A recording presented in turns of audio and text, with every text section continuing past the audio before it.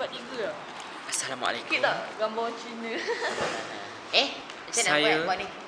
Wartawan anda hari ini. Rohman Gedi akan menemu ramah seorang artis Syahmi Masam yang dikatakan baru-baru ini kehilangan si comel di jalan raya. Jadi kita dapatkan penjelasan beliau. Jangan biarkan isu ini terus bikin panas.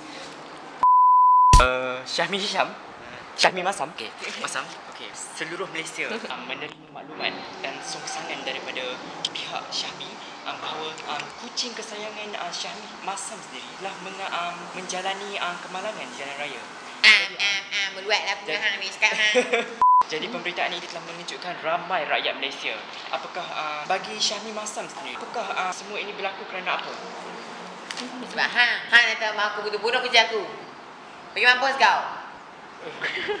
Um, sebenarnya kan uh, bila dah berlaku macam ni um, kita tengok um, dekat maklumat Instagram, Twitter, Facebook Syahmi Masam telah pun um, meningkat daripada peminat Syahmi Masam yang ada hanya 16 orang kini menjadi um, meningkat kepada 16 trilion.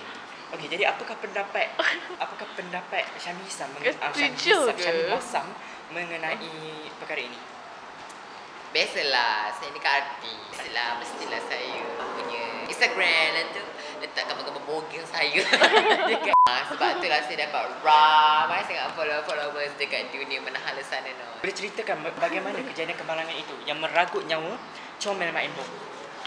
Saya Dia menang.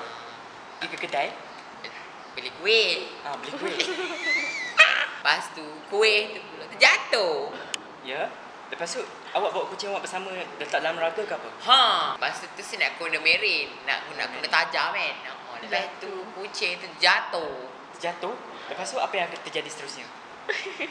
Yang akan terjadi, apa bodoh kau awak ni? Comel Mak Embong ni merupakan sejenis kucing. So bagaimana kucing itu berkata kepada kau? Dia tulis. Ditulis. Awak pernah menyekolahkan dia ke? Dia homeschool. Homeschool. Okay. Awak kenal ke kawan-kawan karib dia? Tak bodoh kan ni, aku dah kata homeschool, homeschool lah. Um, ada tak petanda-petanda sebelum dia meninggalkan awak dalam kemalangan jalan raya tu? Ada rasanya. Contohnya dia tak ada makan. Lepas tu dia asyik Merajuk. uh, maju. Diam dah! Lepas tu dia asyik nak berdiri.